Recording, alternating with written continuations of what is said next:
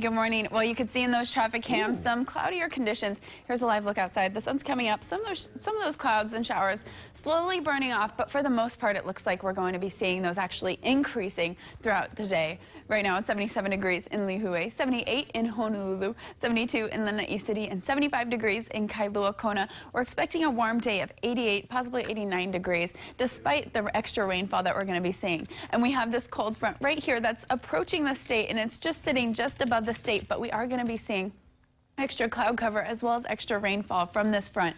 Right now, it's going to be passing by within probably the next couple of hours. We're going to start seeing this extra rainfall, and it looks like that's going to be sticking with us for the next couple of days, possibly through Saturday. So it looks like going to be here with us for for this Halloween coming up tomorrow. Right now, though, rainfall looking fairly light, but don't be deceived if you're heading out. Make sure you grab an umbrella and a poncho because we are going to be seeing those increase in clouds and showers throughout the day.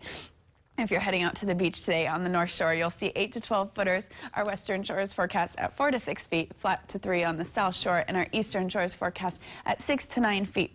So boaters, if you're heading out, be aware there's a small craft advisory posted for much of the state, and then we also have a high surf advisory posted for the eastern shores, and that's because with an incoming north swell and our strong trades, it's making for some choppy and dangerous conditions out there. There is fairly large surf, so before entering the water, make sure you check with a lifeguard. Today we have partly cloudy skies with scattered showers for both windward and leeward areas. That's for the most part later in the afternoon.